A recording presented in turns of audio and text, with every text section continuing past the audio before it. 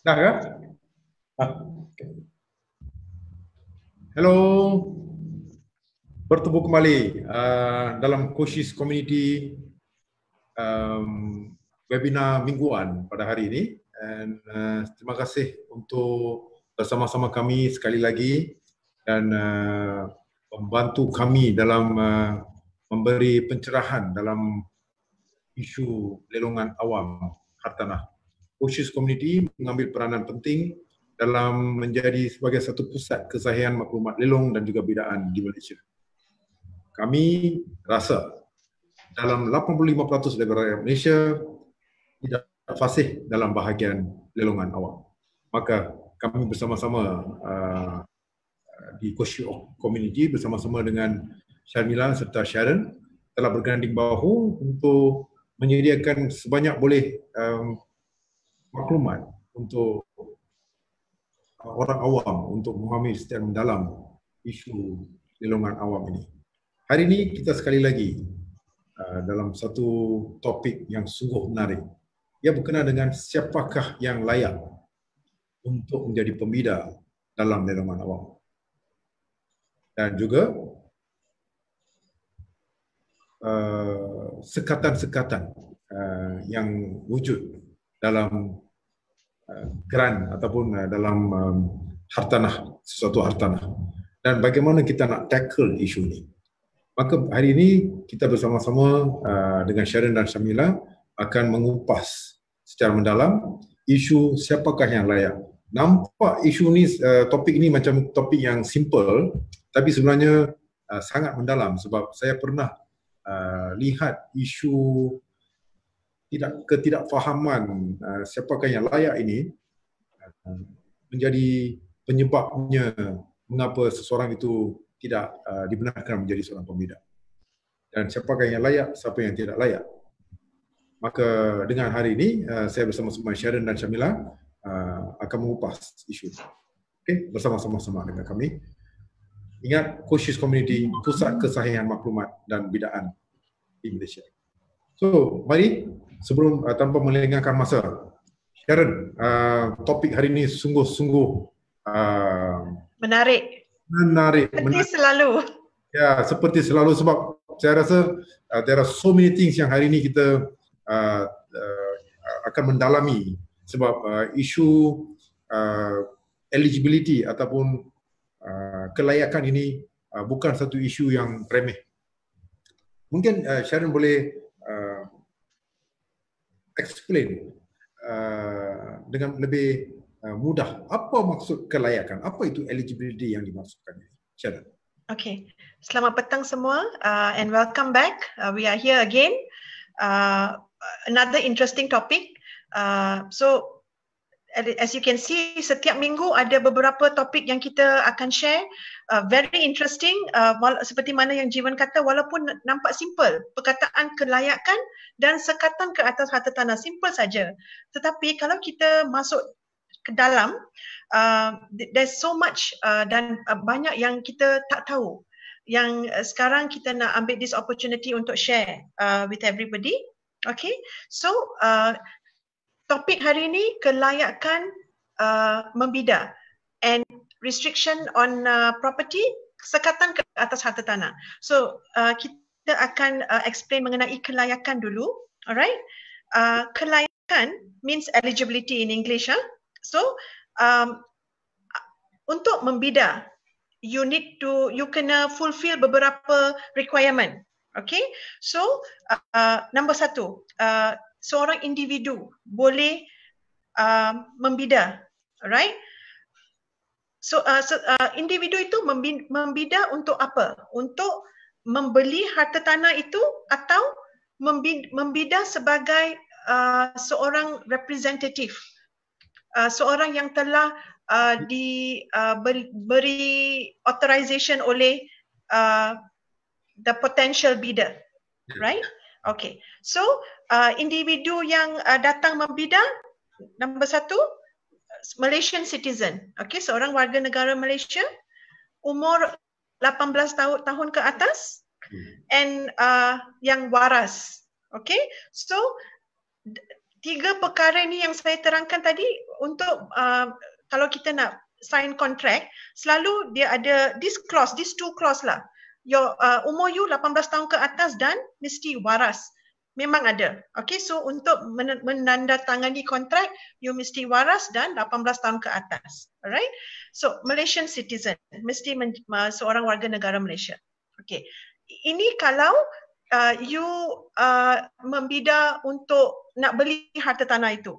Tapi kalau you diberi authorization oleh uh, maybe your boss nak beli harta tanah ni so dia bagi authorization pada you. So dia you kena datang dengan surat authorization letter yang mengatakan yang uh, uh, uh, seperti macam jiwa nak nak nak nak beli harta tanah itu. So dia melantik saya sebagai representative uh, representative. So dia bagi tahu okay saya uh, melantik Sharon Chiko sebagai uh, representative untuk membida hari ini. Okay, so surat tu mesti ada. Okay, uh, so so you dah tahu untuk membida ada dua um, how to say ya, uh, two two types of bidder. Okay, hmm. satu as representative, satu memang nak beli harta tanah. Okay, dan uh, itu individu, satu lagi syarikat. Okay, so kalau uh, yang nak bida tu adalah sebuah syarikat, So dia akan sekali lagi dia melantik seorang uh, pers, uh, seorang untuk datang membida. Okay. Dan apa apa yang perlu uh, what is the requirement? Uh, syarikat uh, mesti didaftar under Companies Act. Okay.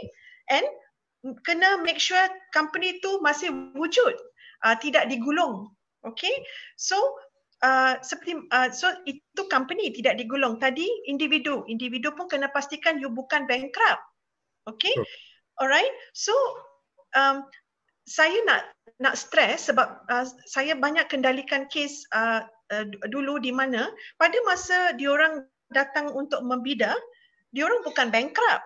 But halfway through, diorang menjadi bankrupt. Okay. So uh, bila dah bankrupt, your insolvency masuk untuk ambil alih harta tanah. So it's it's a, it's a different topic altogether. But you got to make sure you bukan seorang bankrupt from the very beginning. So that is the basic meaning of eligibility kelayakan.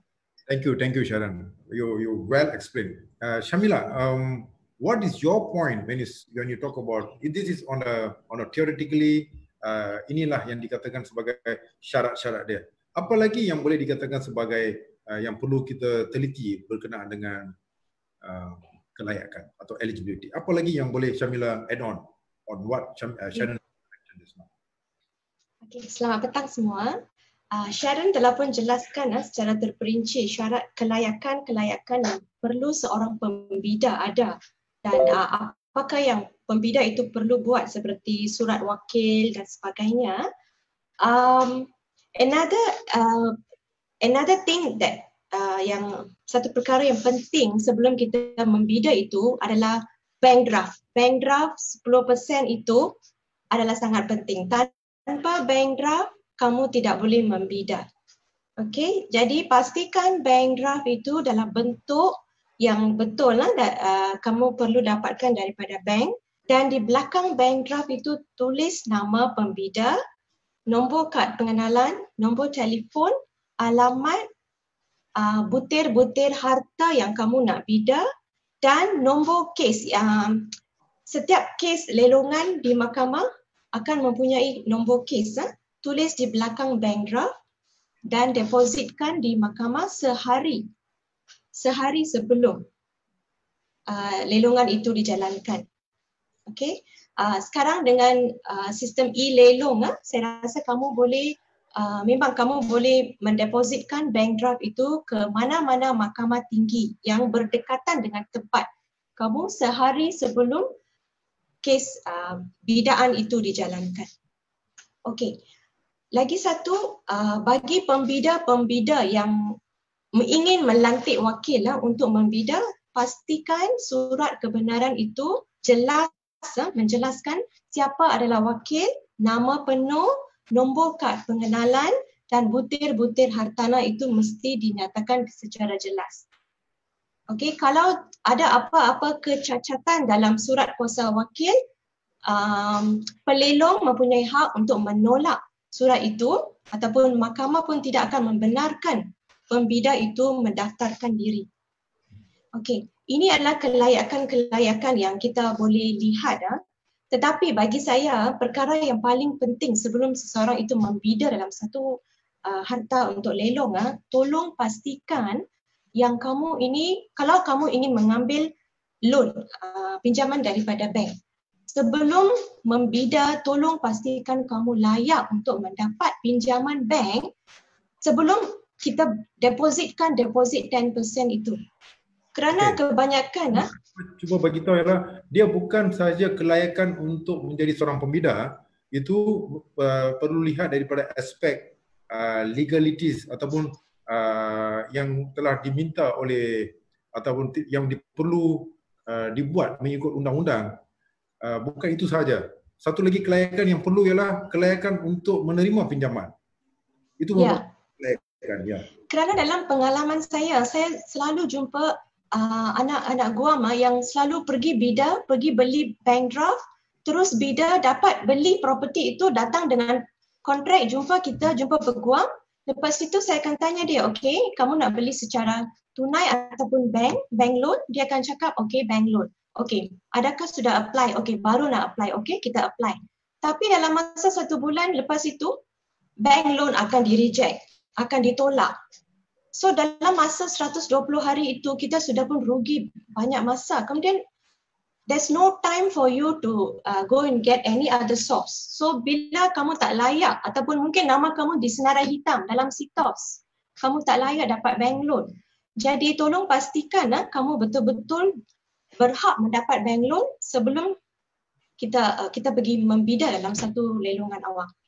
Excellent, excellent Syamila. Excellent sharing. So, uh, apa yang kita perlu lihat dalam uh, lelungan awam atau sebagai pen, untuk menjadi seorang pembida yang layak uh, bukan setakat mempunyai uh, empat perkara atau tiga perkara yang diberitahu diberitahu uh, tadi uh, ataupun empat yang diberitahu oleh Sharon tadi iaitu seorang yang uh, merupakan uh, warga negara Malaysia berumur lebih 18 tahun dan uh, sound mind maksud uh, memang uh, dalam bahasa Malaysia nak kata apa Syara?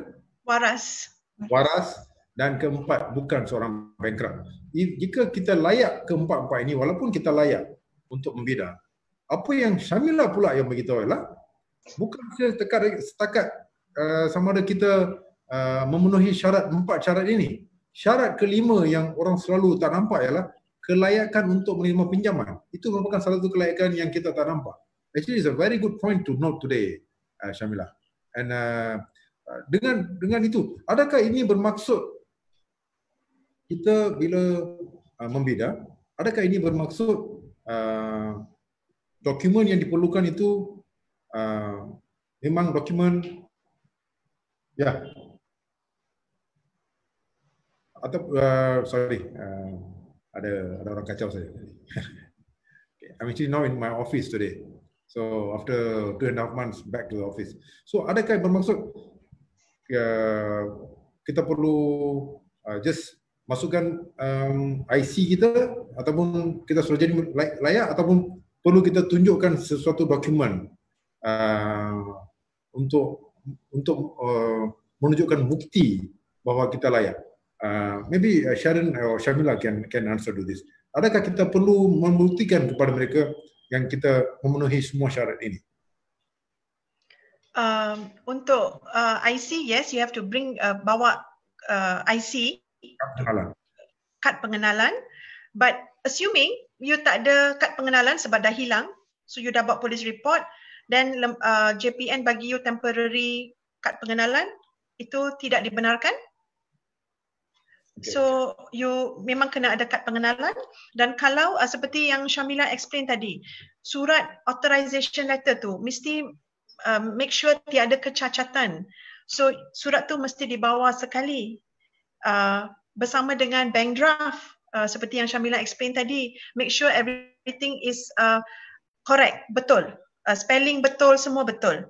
Then uh, kalau you adalah you membida uh, bagi pihak syarikat, then you kena bawa resolution uh, from the company secretary salinan diakui sah dokumen-dokumen syarikat uh, maybe company yang uh, di uh, registered sebelum 2016 your form 24 44 49 memorandum and articles of association and your resolution. So you got to make sure semua dokumen mesti dibawa sekali.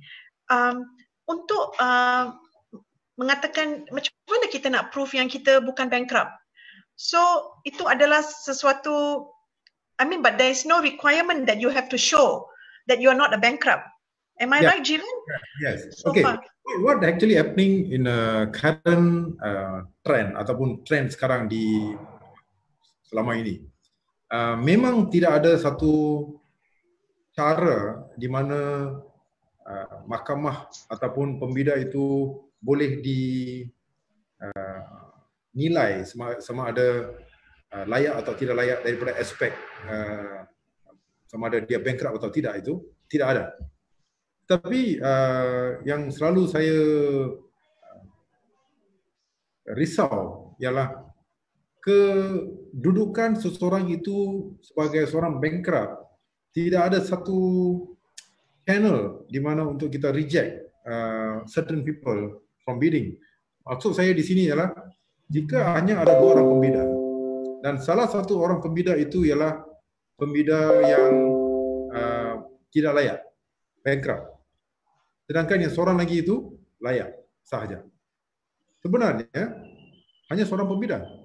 Oleh kerana pembida ini tidak layak dan tidak tidak siapa pun tahu, terpaksa ada satu pertandingan ataupun uh, siapa yang boleh memberi harga yang lebih tinggi dalam lindungan dan rupa-rupanya orang yang menjadi orang yang layak itu saja yang berani beli dan dia terpaksa beli pada harga yang lebih tinggi ini tidak adil kerana yang seorang lagi itu sebenarnya tidak patut bida langsung. Maksudnya, pembida yang menang tadi itu patut beli pada harga rizal. So, tidak ada satu um, proses uh, yang boleh kita guna untuk eliminate people. Sebab elimination itu bukan saja setakat orang yang layak itu. Elimination juga perlu ada supaya kita eliminate betul-betul orang yang tidak patut bidak. Sebab yeah harga itu uh, harga yang patut. Sebab si bankrupt kalau dia bidar dan dia menang pun dia tidak boleh beli. So dia seorang bankrupt. Maka itulah isu yang selalu timbul sebab tidak ada satu mekanisme dalam uh, dalam uh, pendaftaran pelilong, pendaftaran pemilih uh, untuk uh, menilai uh, orang hmm. yang layak. So bahagian uh, bankrupt yang Sharon cuba beritahu tadi itu sangat penting. Mungkin Syamila can add on on uh, bolehkah uh, sepatutnya um, uh, mahkamah perlu adakan satu borang di mana uh, SD Asset Declaration saya seorang pembina dan saya seorang bukan, bukan seorang bankrupt. Jika no something like that. Is it anything in our condition of still Syamila? Uh, so far as as far as I've seen eh, tiada apa-apa keperluan seperti itu. Tetapi saya rasa dalam masa akan datang ni mahkamah harus um, meneliti perkara ini dan uh, mungkin boleh mem, um, boleh uh, panggil uh, ataupun boleh suruh pembida itu angkat sumpah satu uh, akuan berkanun eh, yang mengatakan dia bukan bankrupt dan tidak ada apa-apa proceeding ke bankruptan ke atas diri dia yang sedang berjalan pada masa itu. Mungkin pada masa kita uh, dia membida tidak dia bukan bankrupt tetapi mungkin sudah ada proceeding ke bankruptan atas nama dia.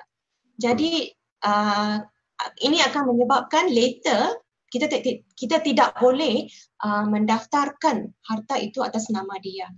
Jadi mungkin ya, mahkamah boleh uh, membawa satu syarat tambahan iaitu harus uh, menandatangani satu akuan berkanun dan maybe uh, sekarang kan kita boleh buat online bankruptcy search. So maybe you can ask the bidder to bring a online bankruptcy search dan a day prior se- sehari sebelum uh, lelongan kita boleh buat any anyone can do a online bankruptcy search mengatakan sama ada dia bankrupt atau tidak sehari sebelum belungan that also uh, another syarat tambahan okay good Okay, um, ada satu soalan mungkin kita boleh ambil satu soalan sekarang ini daripada Erina. Thank you Erina for your support, ever ever loving support daripada Erina. Okay, uh, the question is, is it possible if kita pergi tempat lelong, kemudian kita tidak layak sebab harta yang dilelong itu adik-beradik yang kita yang punya? Mungkin uh, is it stated in the condition of sale Shamila Sharon that uh, referring to penggadai dan pemegang gadaian uh, I think there's one clause in the in the condition of sale. Maybe Sharon or Shamila can take up that, uh, an answer. I'll, I'll leave that to Shamila to yeah. answer. Uh, as far as I've seen, uh, untuk lelongan di Mahkamah Tinggi ya, uh, there's no clause prohibiting, uh, tidak ada clause yang melarang ahli keluarga untuk membida sesuatu harta. Tetapi uh, Uh, practically ya practically setengah bank akan hantar dia punya pegawai untuk duduk semasa lelongan dan pastikan tidak ada sesiapa yang uh, membida untuk harta um, membida untuk harta sendiri melalui ahli keluarga. Kadang-kadang harta bapa akan dilelong, anak akan datang bida. Dan we can know because nama nama bapa dalam kad pengenalan itu sama dengan nama defendant dalam POS itu. Jadi masa itu uh, bank uh, tidak akan mem, mem, mem, apa, membenarkan pembida itu membida. Tetapi ini dalam uh, setengah-setengah kes saja. Dalam dalam just want to add on Jamila. Eh? Actually se- sebenarnya uh, bab penggadai dan pemegang gadaian ini ada disertakan dalam tidak uh, kalau tidak silap saya uh, dalam condition of sale ataupun dalam NLC nanti uh, National Land Court nanti saya sharekan ada mengatakan bahawa pemegang gadaian layak menjadi pembida. Bermaksud bank boleh menjadi pembida. Yes. Memang ada dalam ya, dalam kes-kes tertentu seperti public bank sebenarnya uh, public bank dan sekarang saya boleh nampak juga Afin Bank. Apa yang berlaku ialah lelongan pertama tiada pembida, lelongan kedua tiada pembida, lelongan ketiga bank sendiri akan menjadi seorang pembida. Dia akan datang dengan bank draft dan sebagainya. Jika ada pembida, dia akan withdraw. Kalau tak ada pembina, Finbank dan Public Bank akan membeli balik properti tersebut. Hmm. So, harga sudah turun lebih kurang 20% daripada harga uh, uh, market value. Maka uh, pemegang gadaian ya dibenarkan. Tapi penggadai sebenarnya tidak di, uh, dibenarkan bersama-sama juga dengan mana-mana ahli keluarga. So, untuk jawab soalan uh, menjawab soalan Erina tadi, sebenarnya kalau dapat dibuktikan bahawa pembida tersebut sebenarnya membida on behalf of penggadai, uh, ya anda tidak layak. Tetapi selalunya it's quite difficult to determine uh, jika seseorang itu adalah ahli keluarga seseorang, uh, melainkan uh, kita ada bukti uh, sedemikian. Untuk menjawab Erina juga, salah satu isu yang kita kena lihat pada masa yang sama, jika ada mengapa bank ataupun ada undang-undang yang menyebabkan yang mengatakan bahawa penggadai tidak boleh membida. Ini adalah kerana mereka tidak mahu seorang penggadai itu tidak mahu bayar hutang tapi sebenarnya mendapat balik uh, hartanah tersebut dalam bentuk ataupun dalam cara yang lain pada harga yang lebih murah. That means dia masih lagi memiliki rumah tetapi hutang itu masih lagi tidak dapat diselesaikan. Oleh kerana itu, bank dan mahkamah telah mendapat membuat satu keputusan bahawa penggadai tidak boleh membeli balik ataupun tidak boleh menjadi seorang pembida dalam satu-satu lelongan.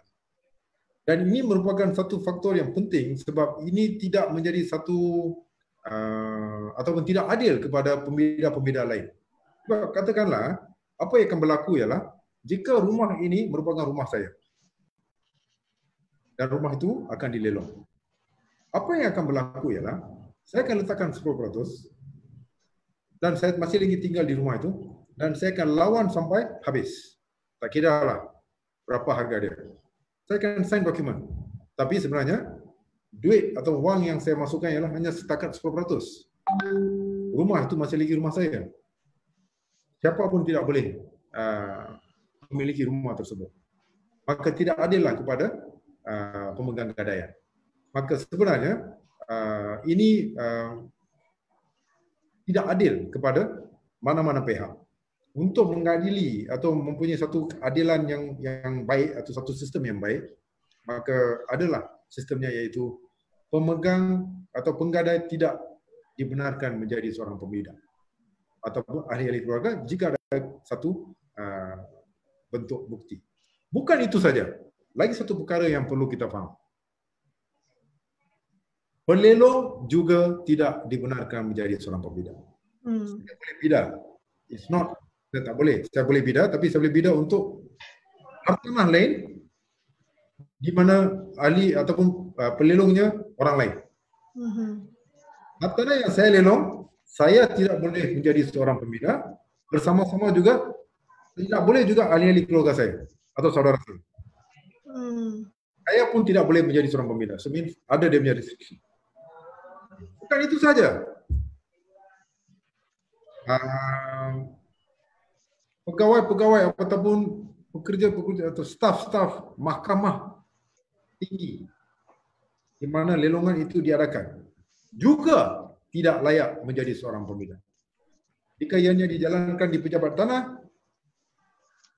uh, pekerja-pekerja atau staf-staf pejabat tanah tidak kira dia daripada department mana, that particular uh, land office tidak layak menjadi seorang pembina. So dia ada dia punya uh, kelonggaran dan juga restriction dia bukan setakat uh, seorang orang awam malah saya sendiri tidak boleh menjadi seorang pembina. Uh, bukan saja saya, saudara saya ataupun family saya pun tidak boleh menjadi seorang pembina. So these are the uh, subsection subsection dalam kelayakan itu. saya saya nak uh, saya ada komen sedikit lah because uh, based on my experience there is a uh, se- seorang uh, rumah dia sedang dilelong but dia punya saudara memang nak bida memang nak beli rumah tu. So uh, so in that in in what you have explained just now dia tak layak kan? Dia, he cannot tidak layak. Tidak layak. Tidak layak. Selagi tiada sesiapa yang membuat laporan. Aduan. Laporan puan ataupun uh, okay. So that means uh, uh, uh, okay kalau abang dia nak nak membida abang. Ya. Yeah. okay but for a true reason that memang dia nak beli rumah tu. Yeah. so uh, then kalau tiada aduan dibuat then dia boleh teruskan. Tidak masalah. Boleh boleh. Jadi boleh. siapa yang selalunya akan buat aduan? Okay. Yang nak buat aduan itu ialah orang yang seorang lagi yang nak beli. Betul-betul dia pun nak beli juga. Kalau dia tahu dia akan, Interesting. Ah, dia, dia, cuba, dia akan cuba nullify your your eligibility. I see. Ah, okay. So sebenarnya uh, ini uh, satu point yang betul.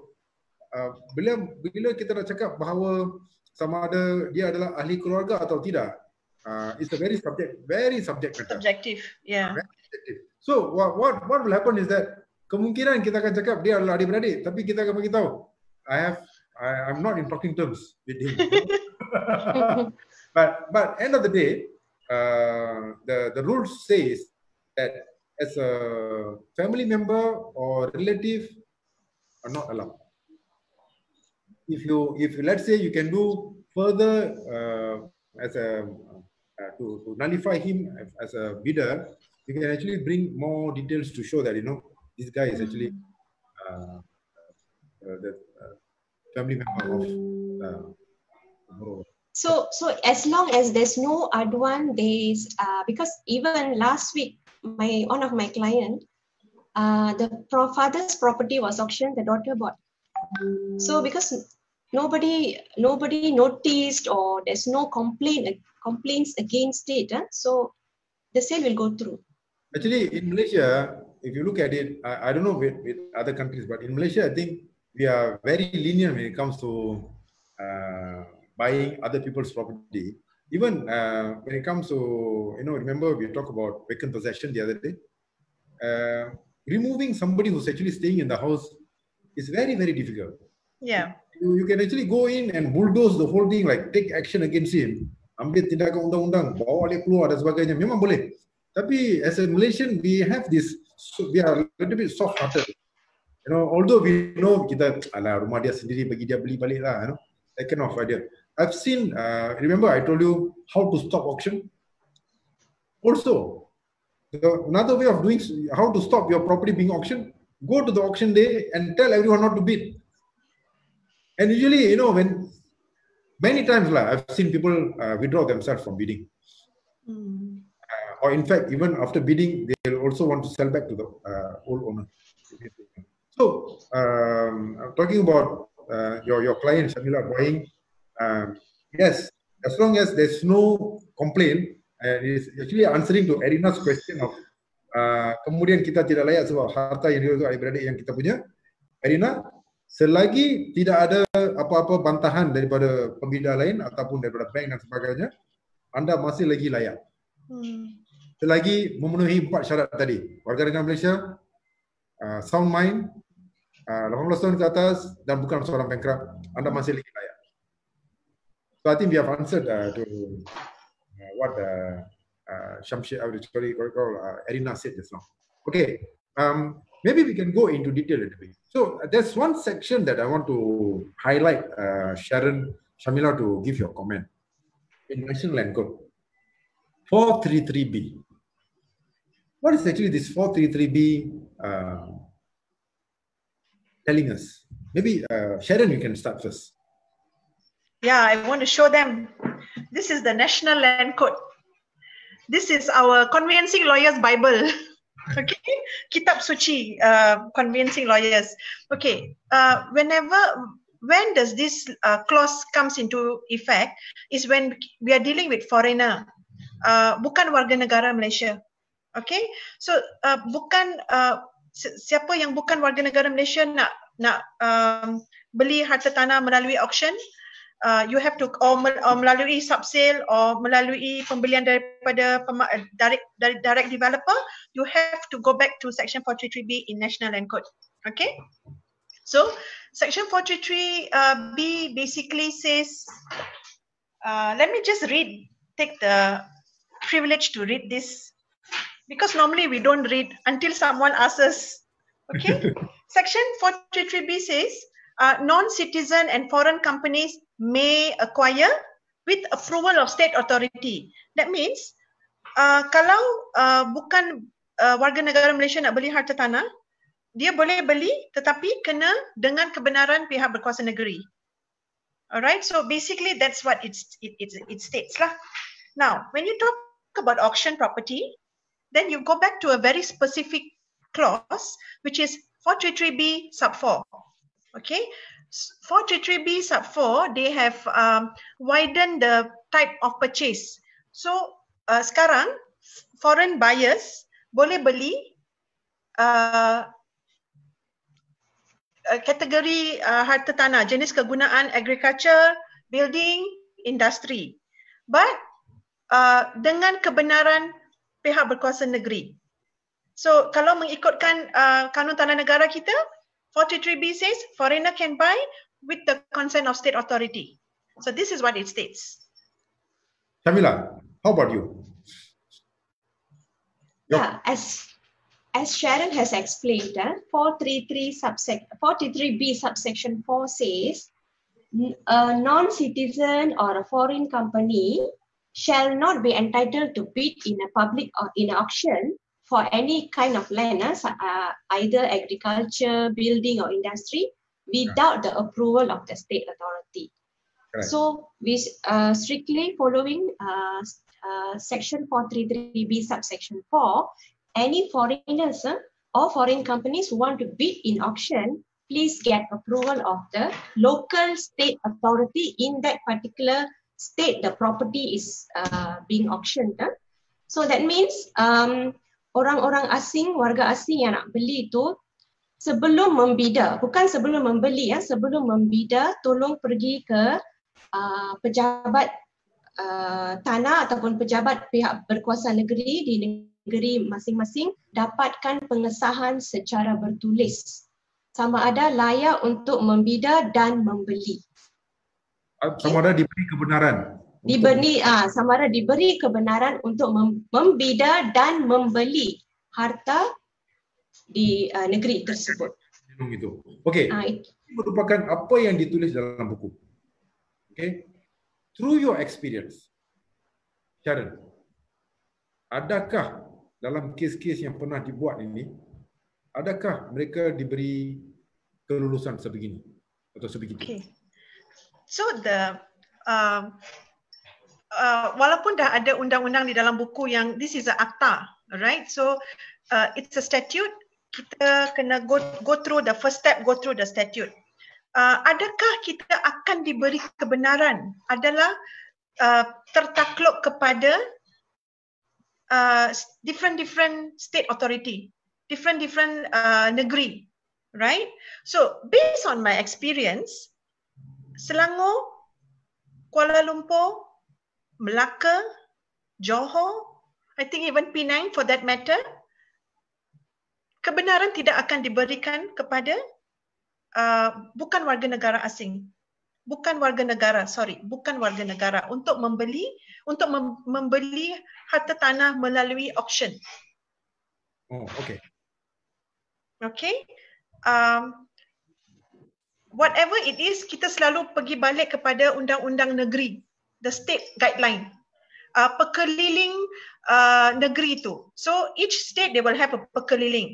So Selangor will have Selangor pekeliling untuk warga negara asing. KL will have their own. Each state has their have their own. So we have to go back.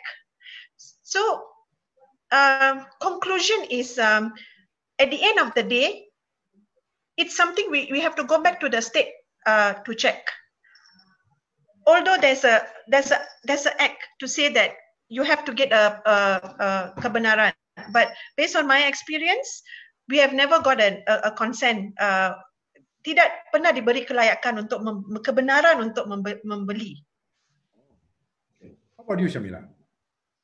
Also same based on my experience. Eh? Penang, uh, so far I've dealt for Penang for foreign buyers melalui lelongan awam memang tidak dibenarkan. Pulau Pinang tidak membenarkan. Oh. Uh, Okay, apa akan jadi jika okay, uh, mengapa kita nak bagi tahu pasal benda ni? I think uh, we need to highlight this because there could be somebody uh, who's actually uh, Malaysian married to foreigners, hmm. and uh, that could be the reason why we are actually highlighting this. Part. Not just that, they have Singaporeans buying properties through sub sale and also uh, new construction units uh, they cannot take this as a uh, as a valid point for them to actually go for any auction and bid. So what are we trying to tell here? Maybe Shamila can can start first uh, with the people or Malaysians married to foreigners. So the the the the, the other, I mean, um, the wife or the husband bidding for the property. I mean, since the wife or husband, the other side is actually a Malaysian, possible for us to do uh, transaction as well? Or what will happen, Shamila? Yes, kalau uh, warga negara Malaysia berkahwin dengan warga negara asing, ya, okay. So warga negara Malaysia kalau kata isteri, isteri memang boleh membeli sebagai warga negara Malaysia, tidak akan melibatkan uh, suaminya yang merupakan bukan warga negara. Itu memang boleh untuk lelongan awam. Tapi kalau kita tengok subsale, subsale memang warga negara asing memang layak. Itu pun tertakluk kepada harga harta tersebut mengikut negeri keperluan uh, state authority Negeri masing-masing. syarat-syarat yang ditetapkan oleh negeri Okay. How about you, Sharon? I, I actually have a question. Okay. Uh, based on what you have asked Shamila, uh, husband and wife, one is a uh, satu warga negara, satu bukan warga negara. So assuming now bukan warga negara datang dengan surat authorization letter untuk bid untuk warga negara. Okay. That can happen, right? Yes, possible. Possible. Yes, So- but in that case, but but section 433b says even to bid even to bid uh, they did not use the word purchase to bid at the sale Hmm. So if we go back to 433B, they says that you cannot bid unless you get state authority consent. so that means you want to enter to the auction uh, room. You have to have the consent. Either you are buying under your name or you are buying on behalf of your the, your your partner. You need to have that authority to hold the balance. So it is, it is clearly stated. And uh, um, I just want to share with you my experience. Like this, this happened like 10, 12 years ago. And uh, uh, it was a very uh, pitiful story. what happened? Sometimes uh, that is the reason why Pusat Kesahihan Maklumat, Koshis Community, uh, dibuat ini selepas hasil daripada uh, uh, experience uh, saya sebagai seorang pelelong dan juga Syadan dan Syamila di mana kita dapat banyak uh, melihat sendiri isu-isu yang betul-betul remeh tetapi uh, atas kesalahan orang lain seorang lain pula yang uh, terpaksa menanggung kerugian dalam isu ini apa yang berlaku ialah satu agensi um, hartanah one of the largest in Malaysia dan masa 10-12 tahun dulu tu uh, the most popular one in Penang. Apa berlaku ialah mereka dapat men, uh, seorang pembida untuk membida sebuah rumah di Tanjung Bunga, Pulau Pinang. Because I was there on the auction day, because that's the reason what I, how I know about it. Because usually berkenaan dengan pembida luar negara ni, bukan ramai pelilong pun faham pasal benda ni. Pasal itulah. Sebab there's very seldom kita ada pembida daripada luar negeri untuk untuk membida. So apa berlaku ialah uh, this particular uh, property agent uh, telah uh, introduce property ni kepada uh, this foreigner. Dia dari kalau tak salah saya dari UK atau Australia. Orang putih lah. So dia pun datang, saya nampak dia datang untuk uh, uh, hari lelongan. Dia masuk dalam bilik lelong, dia dia menang. Dia keluar. So we were surprised. Eh, yeah, Tanjung Bunga is a very nice location and uh, why didn't we think about you know selling it to foreigner? Tak nampak. Lepas 2-3 bulan, I could see him walking back to the court and here and there. Then only bila kita dapat tahu apa sebenarnya isu, mengapa orang putih ni datang balik lepas 2-3 bulan sebenarnya dia datang tu untuk claim balik duit dia yang 10% tu. Because bila dia pergi kepada pejabat tanah, masa tu Bailey pun tak cancel dia punya pidaan. Dia pun terima sebab tak ada experience code. I don't know lah. You know, they, because not many people come, is it? So not many people aware of 433B. So dia menang, so dia actually datang balik kepada mahkamah untuk minta kebenaran untuk dia dapatkan balik duit daripada uh, bank. Sebab duit 10% telah dibayar. Sebab dia bila pergi kepada pejabat tanah PTG untuk transfer, di situ PTG bagi tahu, oh, you tak boleh beli sebab saya rasa is a very learned guy in PTG lah. Maka dia pun bagi tahu tak boleh transfer sebab you don't fulfill as a bidder. Uh, then end up rugi. Property itu tidak boleh transfer dan orang tu kerugian uh, 10%. Masa yang sama, what will happen is that kemungkinan sebab siapa wife dia saya tak nampak. Tapi kena ingat, oleh kerana dia seorang pembida dan dia adalah penama yang ada dalam memorandum of sale dalam lelungan itu, mahkamah tidak membenarkan memorandum itu ditukar nama kepada orang lain. So, sana pula ada satu lagi isu. Okay, fine. Saya tak boleh. Mungkin, uh, I mean, my my wife is a foreign, I mean, local. I want to transfer the whole thing to my wife's name pun tidak boleh dibuat. So become he cannot get back his money, he cannot transfer to the wife's name the memorandum, end up losing. Uh, that time the property was uh, I still remember it's about 1.3 million. So 130,000 gone lah. But and who introduced? It was introduced by a very reputable estate agency company. So what will happen is that apa yang selalu uh, yang berlaku dalam uh, uh, kepada orang-orang kita ialah dia selalunya melihat kepada apa estate agent bagi tahu. Oh, dia big estate agency lah. I'm not saying bad about estate agency ya. I'm talking about some estate agency are like that. Dan kita tidak boleh uh, take things for granted. Tidak semestinya dia reputable estate agency bermaksud dia dah check semua. Ingat, duit 10% itu dikeluarkan oleh kita sendiri. So we are the ones supposed to go and look for issues, kemungkinan yang ada. Sebab itu Sharon dan Shamila, I think you've been stressing from the day one due diligence, due diligence, and due diligence. Maybe uh, Sharon can can also uh, discuss a little bit.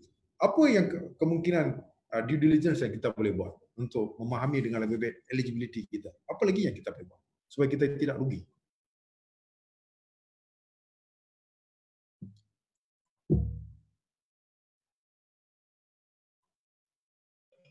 Sorry.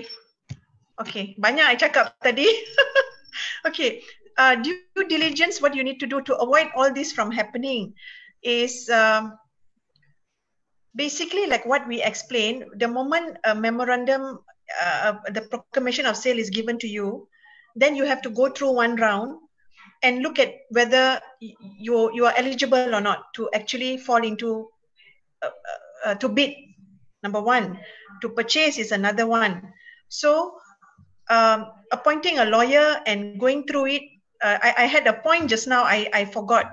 Uh, you, you, you definitely need a lawyer to go through the proclamation of sale and guide you through this. And what Shamila has explained, when you get your proclamation of sale, then you quickly check your eligibility to get a bank loan. Some other you layak ke tak, or some other certain banks, they uh, they do not want to finance a certain property yang mana tak ada master title for more than 10 years uh, only certain banks would finance in that that properties two or three banks only. So you may not know this but tapi you dah bid and then you ingat eh boleh I I layak I I'm eligible actually to get a bank loan. But the problem is bukan you your problem is the bank's problem. The bank says eh dah 10 tahun tak ada title. Kenapa? I cannot finance. It's our company policy. It's the bank's policy. So it's it's your eligibility is there but bank doesn't support it. So that's uh, so due diligence has to be done from a, the, the very beginning before you actually walk into the court and and, and bid. Okay I, I would like to um, take questions now. Okay uh, the question is from Sivanison. Uh, what are the checks the bidders can make? That means what are the checking need to be done? Is there a cheat sheet is it okay and the question number two, I think I think you just answered. Can we appoint a lawyer to carry out the due diligence? So maybe Shamila can start first, then uh, uh, Sharon can, can follow suit. Shamila. Yeah, once you you have decided to bid for a property, ya, bila kamu sudah tentukan yang kamu nak membeli harta itu, tolong dapatkan the proclamation of sale, peristiaran jualan daripada pelelong kontak pelelong dapatkan peristiaran jualan. Uh, lepas itu go through koshiscommunity.com. Yes, yes. Or come to Koshis community. We can always assist you. Uh, dapatkan butir-butir harta tersebut semua dan dapatkan nasihat daripada seorang peguam. Itu sangat penting ya untuk memastikan butiran-butiran yang dinyatakan dalam peristiaran jualan itu betul okey carian tanah apa-apa sekatan dalam uh, harta tersebut uh, apa-apa syarat yang kamu perlu patuhi sebelum kamu layak untuk membida dan membeli harta tersebut. Kerana kalau kita buta-buta pergi membida uh, dan kemudiannya harta tidak dapat di uh, dipindah milik ke atas diri kita dan kita yang akan rugi. Orang lain bukan orang lain ataupun ejen ejen yang akan rugi ya So um, that is the on the due diligence part lah. You have to please consult a lawyer. Maybe spend a bit. Like as uh, in our previous session, I think we have mentioned the minimum cost around 300. Okay, spend it and make sure everything is in order before you actually place your deposit of 10%. Okay, I would like to uh, add on to um, Sharon. You need to continue with that question and uh, your answer. I just want to add on because uh, uh, looks like uh, Stevenson got a few other questions, so it can be we can double up together. Okay, the question that is asking the other two questions is that what if it is cash settled without the need for a loan? What are the circumstances under which the master title is not available? So what are the consequences? Okay. Number two, Periseran Jalan Long is a document produced by whom? So I think maybe we can jumble up together maybe uh, Sharon, you can start first. Okay, that that's from Siva Nason, right? Uh, interesting question. Okay, I think uh, Sivanesan, you meant is if you buy via cash, what if the strata title is not available? Master title will always Okay, be there. Okay, so um, it's fine buying a master a property with no strata title or no individual title. It's it's okay. It's still a property. It's still a property. Um, you you you will not suffer any loss. You pay via cash. You will still be the beneficial owner of the property. We, we don't use the word registered owner because there's no strata title or individual title yet. It won't be registered in the land office. But you you will have a deed of assignment where duly st- uh, full stamp duty, ad valorem stamp duty has been paid, and you are the beneficial owner. So uh, no consequences if, if you're buying a property with master title, right? Now, um, what was his second part? Um, I mean, he was asking whether uh, Perisiran Jalan Long produced by Oh. who? And maybe you can add on uh, also what are the types of uh, losses uh, will a bidder or the buyer uh, need to uh, absorb or oh, the cost, the cost, losses, losses. the losses. Oh, okay, interesting. So uh, due diligence again, continuation from where Shamila has explained. Yeah. Appoint a lawyer, do a duty, but um, so lawyers will do all the land search. Lawyers will check about the harta tanah sekatan, any restriction and all that. But what you have to do as a bidder is go and go and look at that property. Go to the physical part of the property, stand there and look at the property. From there, you actually know what has to be done on on the in the on the house. Okay. Then you you also will see whether is the house vacant. Is there anyone staying there? So all this is the due diligence you do, right?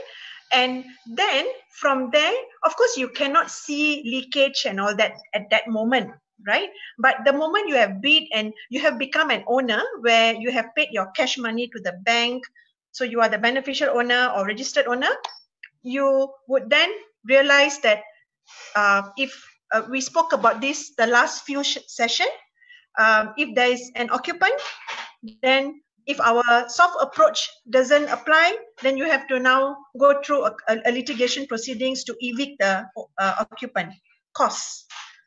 If your house is in a very bad condition, renovate, uh, you need to refurbish back costs. So and uh, actually can save you a lot of money. Can save you a lot of money. Either either you you, you Yeah, yeah. If you would have done it earlier, way or Correct. you can you can you can foresee what will be your extra cost that is going to uh, cost you. Ex- ex- exactly. So, yeah, now I remember what I wanted to say. When you before okay, when you get your proclamation of sale, you had uh, you have already start you must start calculating in your mind what's the reserve price there. You must already allocate like the last round we mentioned that about 15 to 20 percent we allocate 18%, uh, 18%. Ah, to, yeah, to allocate for all these additional costs. So you already have the figure in your mind. So there will, so you will not suffer a loss when you buy an auction property. So the word loss shouldn't be there. Yeah. You, so you you just so if you, had you done the uh, due diligence at the very beginning, you would have expected all this to happen. So what other costs you have to pay would be all the uh, okay. So we explained this last week, uh, Shamila, about the a portion of the outgoings, the uh, service charges, maintenance, uh, service charges, sinking fund. As at the date of auction, in most circumstances, the bank will pay prior to that. After that, you pay. But late payment interest, you have to pay. Uh, utilities, most of the time, is not covered by the bank, so you have to pay. Uh, cukai tanah, cukai pintu, it depends on the proclamation of sale. I mean, the memorandum if it's there. Right. Otherwise, those are additional charges you look out for. So, how do you know all these? Uh, these are the preliminary checks you do. Uh, your lawyer will do. So these are what your lawyer will be calling the developer, calling, checking Inda water outstanding, checking all this for you. So this is the due diligence we talk about. Excellent. Thank you. Thank you, Sharon. Excellent uh, explanation. It, it really enlightens everybody. Semua orang faham bahawa isu yang melibatkan uh, topik hari ini ialah kelayakan seorang pembida. So kelayakan pembida ini bukan setakat sama ada saya ada dua tangan, dua kaki, kepala dan sebagainya. Uh, satu lagi isu atau poin yang Syamila highlighted uh, tadi bukan setakat memenuhi empat syarat iaitu sama ada warga negara Malaysia, 18 tahun ke atas, waras dan bukan seorang bankrupt. Itu hanya menjadi kelayakan untuk memasuki bilik lelong. Maybe. But setelah menjadi seorang pembida yang uh, berjaya, kelayakan yang sepatutnya kita perlu perhati pada awal-awal lagi jika tidak diendahkan maka masalah yang timbul kemudian adalah masalah yang kemungkinan besar merugikan seorang pembina. Itu yang kelayakan yang Syamila cuba highlight tadi. Syamila dia beritahu supaya kelayakan satu lagi yang perlu kita lihat kelayakan untuk mendapatkan pinjaman ataupun kelayakan untuk memenuhi pembelian tersebut. Bukan itu sahaja.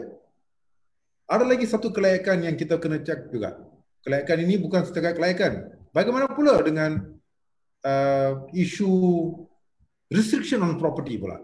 Mungkin we can go uh, very quickly on this, uh, Sharon.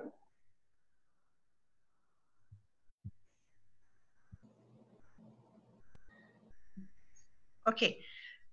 Alright, so restriction on property. Um, sekatan di dalam harta tanah we have sekatan ke atas uh, hak milik where there is a sekatan kepentingan. We uh, we spoke about this in our previous session as well. Uh, kalau harta tanah itu sudah ada geran sudah ada uh, strata title then there is a, a perkataan sekatan-sekatan kepentingan yang wujud di dalam uh, di atas title. So what does it say? Um, tanah ini tidak boleh dipajak dicagar, dipindah milik, digadai uh, tanpa kebenaran pihak berkuasa negeri. Right? So, uh, kalau ini adalah salah satu sekatan yang wujud di atas geran. So, ini yang kita boleh nampak.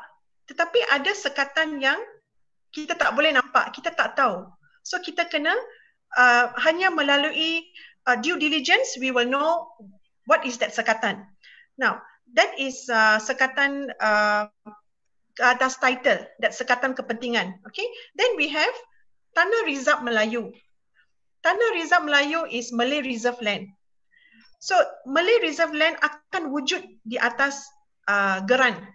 It will be stated di atas title tanah rizab melayu. So you know you dah tahu ini hanya untuk uh, yang bukan melayu tidak boleh beli. So that is appearing on the title you nampak uh, so maybe I will let uh, Shamila explain about what we cannot see. Okay. Uh, uh. Yeah, Shamila. Okay. Another aspect yang that uh, dalam even dalam carian yang tidak dapat dilihat adalah uh, untuk yang melibatkan harta-harta kos rendah, rumah kos rendah. Memang uh, akan ada satu sekatan harta itu tidak boleh dijual, dipindah milik, dicagar tanpa kebenaran pihak berkuasa negeri. Tapi kamu juga harus melihat kepada nilai harta itu.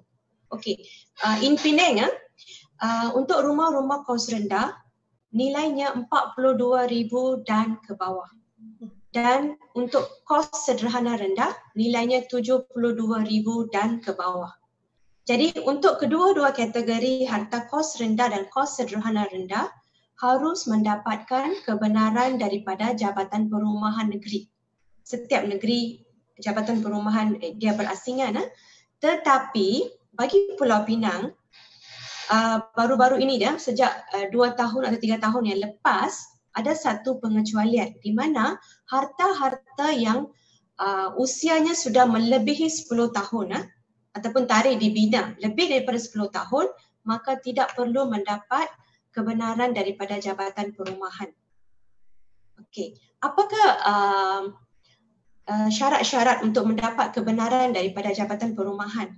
Okey, untuk syarat-syarat yang paling penting ialah orang yang membeli itu uh, tidak harus mempunyai apa-apa harta kos rendah atas nama dia.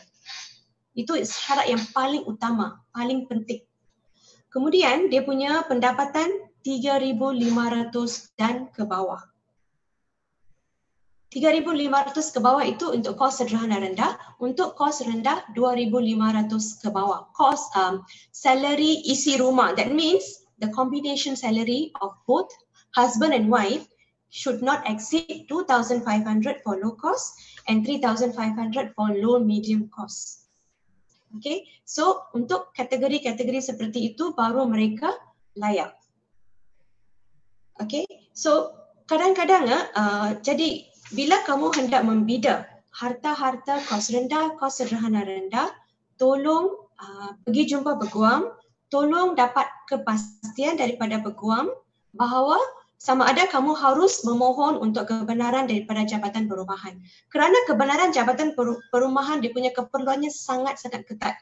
First, uh, you should not have any other property, low cost or low medium cost property under your name because ada satu uh, situasi yang berlaku kepada uh, seorang anak guam saya dua tahun yang lepas uh, tanpa mendapat nasihat dia telah pergi membida satu harta kos sederhana rendah Okay, satu flat kos sederhana rendah dia sudah pergi membida. Lepas tu baru dia datang jumpa saya dengan kontrak. Okay, bila saya uh, buka baca kontrak dapat lihat oh ini adalah satu low medium cost. So saya tanya dia, adakah kamu ada miliki apa-apa rumah kos rendah, sederhana rendah sebelum ini? Dia cakap, ya, dia ada satu kos rumah kos rendah atas nama dia. Jadi the first uh, keperluan itu tidak dapat dipatut penuhi. Maka, uh, but anyway, what I did was we called, we tried to get consent. Any, anyway, uh, apa uh, apa yang kita buat ialah kita cuba mula-mula kita cuba ganti nama dia atas nama keluarga lain, eh, nama ahli keluarga yang lain tetapi bank tidak benarkan untuk mengganti pembida. Jadi lepas itu kita tidak apa-apa pilihan, kita terpaksa uh, menulis surat rayuan kepada Jabatan Perumahan Negeri untuk meminta menjelaskan kenapa dia sekarang memerlukan rumah kos sederhana rendah itu. Kerana rumah kos rendahnya masih kecil dan anak-anak sudah besar dan you know dia tidak mampu membeli rumah yang lebih harganya lebih daripada rumah kos sederhana rendah maka dia terpaksa beli rumah kos sederhana rendah.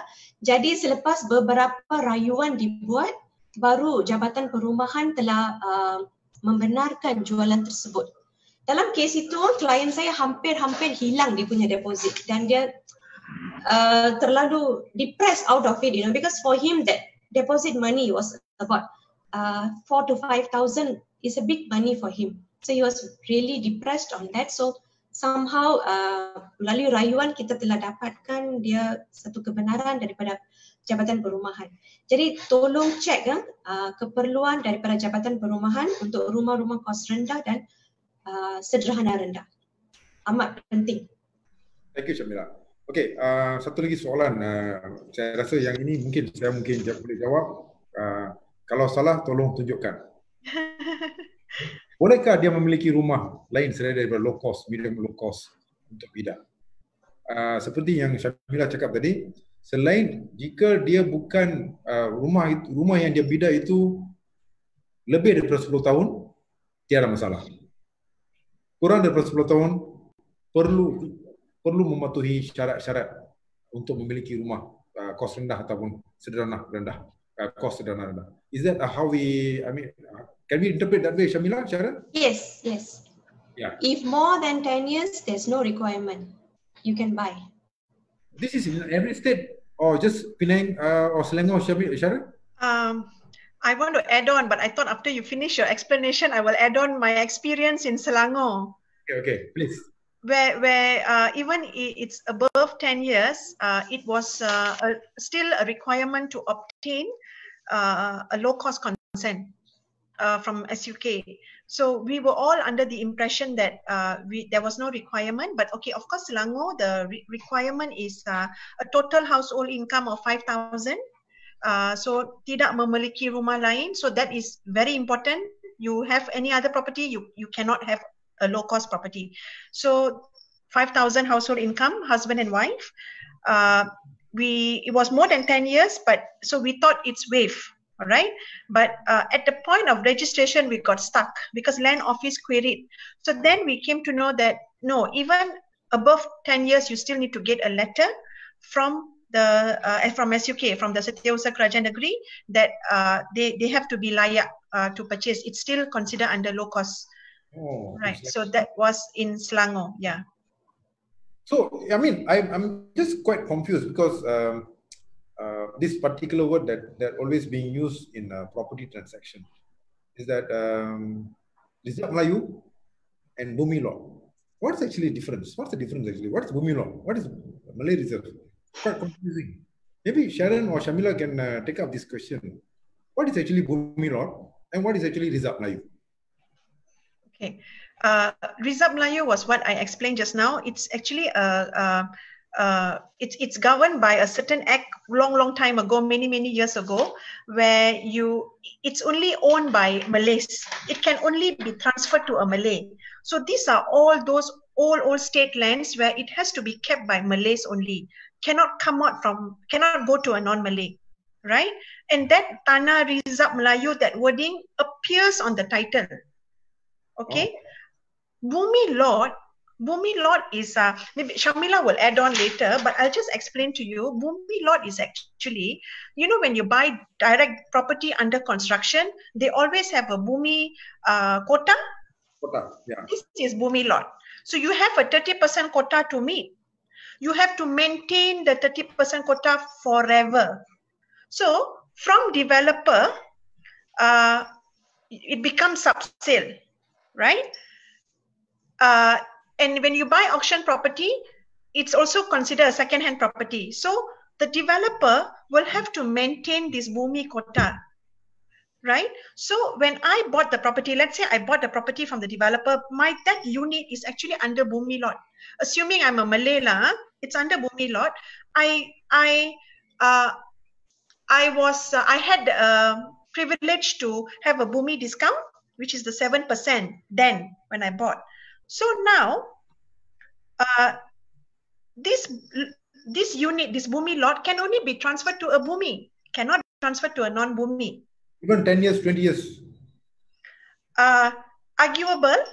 Okay. I cannot say yes and I cannot say no. Okay. Depends. As long as in my development, I have maintained my 30% Bumi quota still. Okay. Oh. Okay. So let's say now when I, the developer sold the property to the first hand buyer, which is all of us, so he, they met the 30% Bumi quota already. Okay. Now sub-sale, now assuming sub-sale, um, can a non-Bumi quota become a Bumi quota? First question, huh? I answer yes, because I've seen it happen. Okay. So from the non-Bumi becomes a Bumi quota because Sharon now sells it to Abu it becomes a Bumi lot. Okay. So in that sub-sale transaction, the developer managed to keep the 30% Bumi quota. Still, there is Bumi quota there.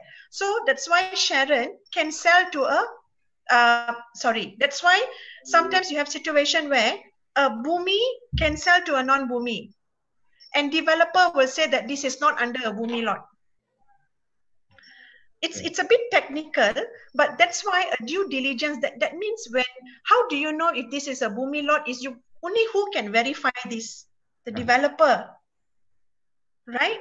Yeah. Nothing to do with land office. So everyone sometimes gets confused that um uh bumi lot is it will be rejected by land office. So actually bumi lot only who can confirm is the developer right? Yes Okay. So can you uplift now the next question is can you uplift the Bumi status? Meaning now uh, somebody wants to bid for this property which is a Bumi lot and then the, this person comes and sees a lawyer and I did my search and all that I call the developer developer say hey this one Bumi lot can only be sold to a Bumi uh, okay but is there a way to uplift this there is so in Selangor you can actually go to the uh, Kerajaan Negeri and you pay back the discount amount, which is the 7% from your original price. Pay back oh. to the government and your Bumi quota will be uplifted. All right. Okay. Wow. So hmm. uh, many, many people do not know this because um, a lot of uh, in, uh, people doesn't do it. They don't want to come up with the 7% but now you're bidding for an auction property you're already saving a lot of money. So you may just have 7% there extra because the original purchase price is very low would have been very low then. So you're only paying 7% on the original purchase price to the government to the land office to um, uplift the bumi status. So then kebenaran akan diberikan kepada non bumi to buy all right, all right, all right. Wow, really, really interesting, Sharon. Yeah. You know, so, maybe you can you can, you can uh, add on uh, what Sharon has uh, mentioned just now. Okay, I, I do not have direct experience for uh, uplifting Bumi Bumi Bumi Kota, Bumi Kota properties, uh, but uh, what uh, here in Penang I have seen developers once they have uh, completed their sale. Let's say there are some non non sold bumi lots, uh, bumi properties, uh, what they will do is they will can apply to the land office to uplift it, but provide evidence that they have tried their best to sell those units, but it, it couldn't be sold to a bumi, and there are non-bumis who are interested to purchase the property. So in that situation, uh, I have seen a non uh, a lot is transferred to a non-Bumi. Okay, in, in that kind of situation. Thanks, thanks, thanks, Shamina. Mm. Sharon, you want to add on something, Sharon? Uh, I wanted to add on something, but I think this is a bit technical, but I think it's best if I just mention it. Yeah. Um, when Shamila spoke about um, the developer applying to the land office, no, applying to the Ministry of Housing, or is it to the land office?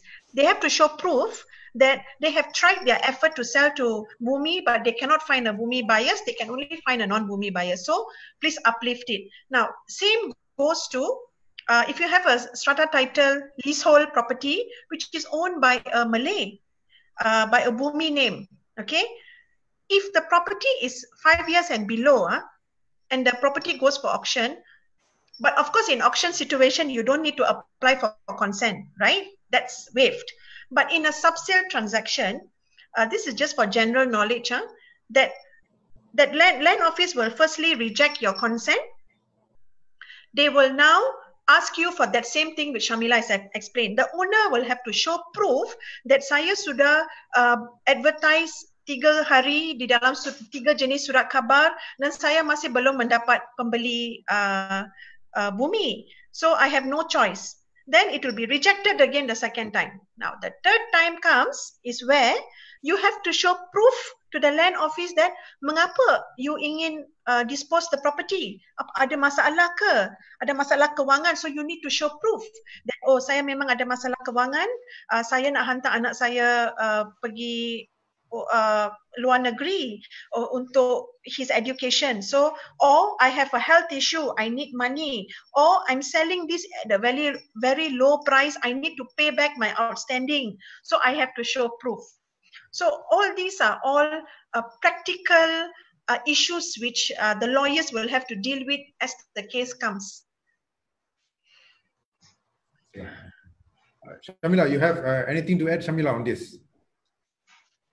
Um, that's right. Um, if you follow the rules or the law, it's, it will be stated in a such a way that you cannot do certain things. Uh, but there, there are there are always ways for you to do appeal, uh, explain your situation, and uh, get the approval. Like what Sharon has said, uh, you have to prove whatever your your why you have to sell the bumi lot to a non-bumi. Provide all the evidence, and you can actually the, the authority can will actually consider your application to dispose such properties. So from the first uh, rejection to um, for let's say we do uh, appeal and whatnot until the final approval, how long is the time frame that we are looking at? In a sub-sale transaction, it has taken about one and a half years. Oh, so yes. that means whatever it is, while waiting for this approval, you need to pay in full. Let's say you're going for auction and oh, yeah, yeah. You buy. Yes. And, uh, uh, transfer, I mean, uh, pay in full. So the money will come from the loan? No. No, you pay cash. No, but you see, we are lucky because if we are going through auction property, this leasehold thing is waived. The oh. one which we are talking about just now, uh, to uplift in Selangor, to uplift, it only takes about a month. Oh, okay. So uh, if we believe that uh, we feel that it's going to take some time, then we will advise the bidder or can you pay cash first? It all depends on situation. So it all depends on our experience on how to handle or tackle the, the, the situation. Excellent, excellent, yeah. excellent, excellent, Jamila. It was very enlightening uh, uh, if when it comes about understanding the eligibility of bidder. So I, what we can conclude today is that eligibility of bidder can be seen from three different perspectives. Number one, as what Sharon mentioned about the four basic requirement uh, to become um, a bidder. That is, you need to be 18 years and above, Malaysian citizen, sound mind, and uh, not a bankrupt. Yeah. Itu merupakan satu uh, empat uh, uh, ataupun uh, kategori kelayakan yang perlu yang diberi uh, tahu dalam uh, our act. Apa yang share Syamila pula add on is that bukan setakat itu saja. Kita juga perlu lihat daripada kelayakan untuk mendapatkan pinjaman. Sebab jika kita nak beli secara cash itu tidak menjadi masalah. Tapi jika memang kita memerlukan pinjaman, adakah kita layak daripada perspektif kelayakan uh, kewangan kita itu? Itu pula lagi satu angle yang kita perlu lihat. So that means there's one requirement ataupun kelayakan yang perlu diperluhi mengikut syarat-syarat yang diberitahu dalam uh, what call uh, national land code ataupun uh, dalam uh, syarat-syarat jualan.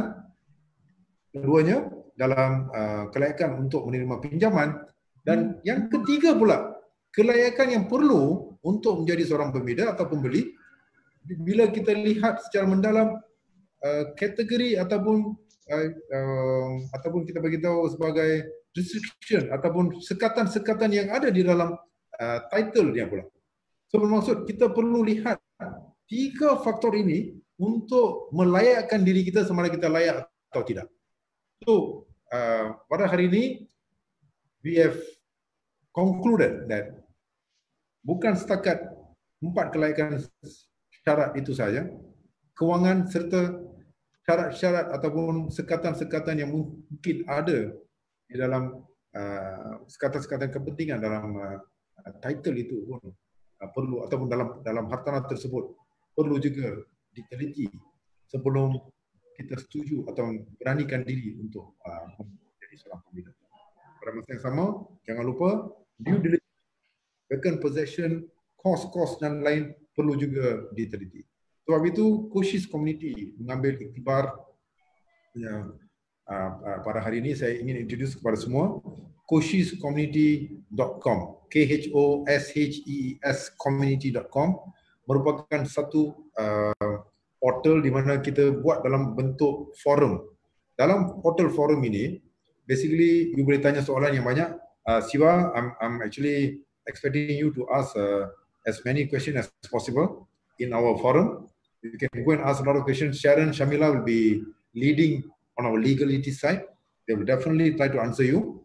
Uh, whereas we have auctioneers uh, like me, and we have another few more auctioneers also involved, whereby we'll try to help you as much as possible to equip yourself to be more learned and the rest from the uh, uh compared to the rest of uh, Malaysians, uh, whom we believe about 85% of them are not uh, self-sufficient when it comes to understanding the method and also the law, the legalities behind auction dan uh, lelongan. So 85% rakyat Malaysia tidak berapa faham apa itu lelongan uh, ataupun tidak pernah pergi ke lelongan awam. So uh, terima kasih banyak-banyak pada hari ini kepada Sharon dan Syamila seperti biasa. Minggu depan kita ada lagi satu topik baru. Minggu depan topik apa Sharon? Uh, carian persendirian. Carian persendirian. Is it land search? Yes, yes, land search. So minggu depan kita ada satu lagi topik yang nampak itulah topik-topik kami ini nampak mudah sebenarnya ada banyak isu yang uh, kita akan uh, cuba uh, highlight dalam uh, webinar kami. So jumpa minggu depan pada waktu dan masa yang sama.